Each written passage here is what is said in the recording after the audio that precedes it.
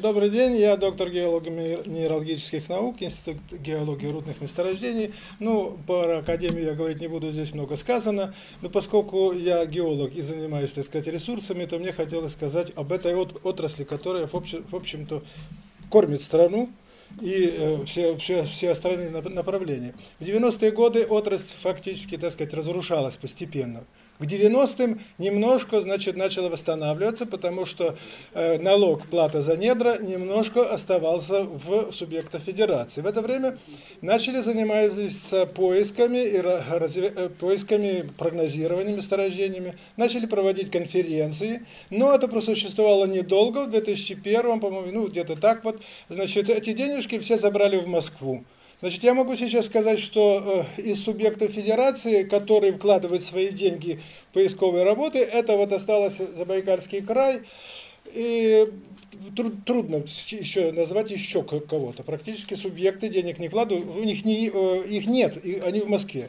В прошлом году я увидел письмо, где, значит, э, все же в министерстве увидели, что мы катимся уже, так сказать, э, вниз, и предложили создать региональные организации, которые бы занимались прогнозами, поисками месторождений. Но, значит, это самое сменилась власть, значит, и сейчас все региональные управления природными ресурсами ликвидируемые, остаются отделы.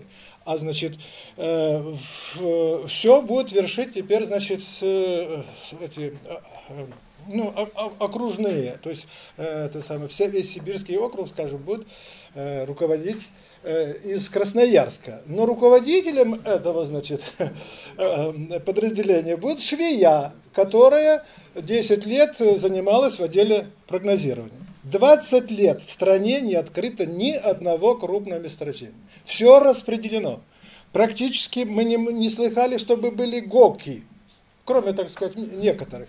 Потому что все разобрано, но они берут кредиты, ВТБ и прочее, и, вклад, и вкладывают. Но когда они кончаются, значит, все повисает. Ни одно месторождение не работает.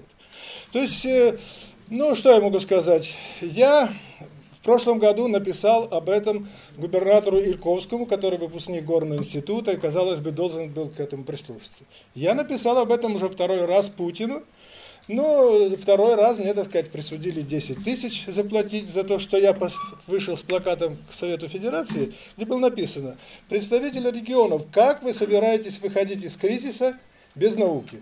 Мне дали 10 тысяч. Я не стал обращаться к да, да, я не стал обращаться, значит, к Росконференции, чтобы они оплатили. Я все же свой профсоюз, так сказать, усовестил, что вы, ребята, так сказать, не ходите на, эти, на митинги, ну, хоть частично компенсируете этот самый.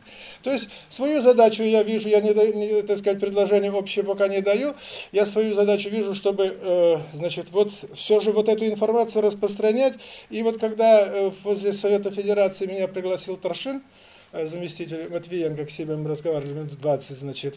Он мне ну, напишите свои предложения. Не было времени. Сейчас, наверное, придется написать, потому что, значит, если Дума, если Совет Федерации, вот эти комиссии, если они не включатся, то вот геологическая отрасль, вот все, у нас уже нету. Мы по, по половина металлов, у нас нету, мы покупаем очень много. Но у нас и все остальное рухнет.